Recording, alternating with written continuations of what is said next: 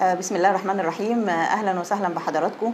آه، معاكم الأستاذة الدكتورة ولاء أنور خليفة أستاذ الغدد الصماء والسكر كلية طب جامعة أسيوط.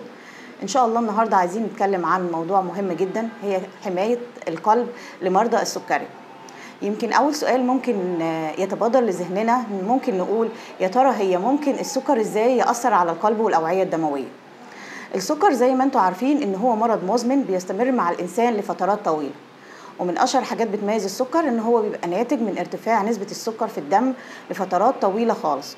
وجود سكر مرتفع في الدم لفترات طويلة ده ساعات بيأذي جدار الأوعية الدموية فبيبدأ يحصل لي حاجة كبيرة جدا إحنا بنسميها تصلب الشرايين. تصلب الشرايين بالنسبة لمرضى السكر طبعا بيؤدي لمضاعفات كبيرة جدا على القلب. يبدأ أول عرض عندي بيظهر اللي هو ارتفاع ضغط الدم.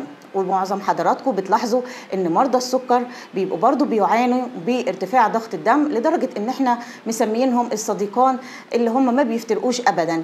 تاني حاجة ممكن يأثر عليها ممكن يأثر على الدورة الدموية للقلب أو بنسميها الشرايين التاجية وده ممكن يسبب لي قصور في الشرايين التاجية. يبدأ الإنسان يتعرض ل ذبحات صدرية متكررة ممكن يتعرض لجلطات في القلب وممكن تكون النهاية فشل في وظائف القلب. وطبعا دي من الحاجات اللي بتبقى صعبة جدا سواء كان في علاجها أو في أعراضها على المريض.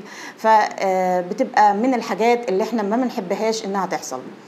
إيه حاجات تانية ممكن تأثر الأوعية الدموية؟ آه ممكن برضو يتأثر الأوعية الدموية بتاعة المخ وبالتالي يحصل قصور في الدورة الدموية للمخ. طب المريض ممكن يشتكي بإيه؟ ممكن الأول نلاقي أعراض بسيطة جدا. فقدان مثلا متكرر في الذاكرة يبدأ مش فاكر إيه الحاجات بالظبط. مفيش تركيز كويس عند أداء أي مهمه ولا قدر الله في الظروف الصعبة ده ممكن يؤدي لجلطات في المخ. وطبعا إحنا بنلاقي معظم مرضى السكر ممكن تحصل لهم جلطات متكررة في المخ ناتج من مشاكل الأوعية الدموية. إيه تاني ممكن؟ ممكن يأثر على الأوعية الدموية اللي هي اللي بتغذي شرايين القدم وطبعا القدم السكري واحد من المضاعفات الكبيرة جدا للسكر اللي إحنا دايما بيبقى الناس خايفة من حدوث البتر لأنه بالنسبة لهم بيمثل مشكلة كبيرة جدا. وبالتالي تأثيره على الدورة الدموية الطرفية ممكن يؤدي إلى آلام أثناء المشي ممكن بعد كده يؤدي إلى حدوث تغير لوني في القدم وممكن يؤدي إلى غرغرينة لا قدر الله وحدوث بتر. طيب يبقى إحنا اذا عرفنا قد إيه إن السكر ليه مشاكل كبيرة على القلب والأوعية الدموية.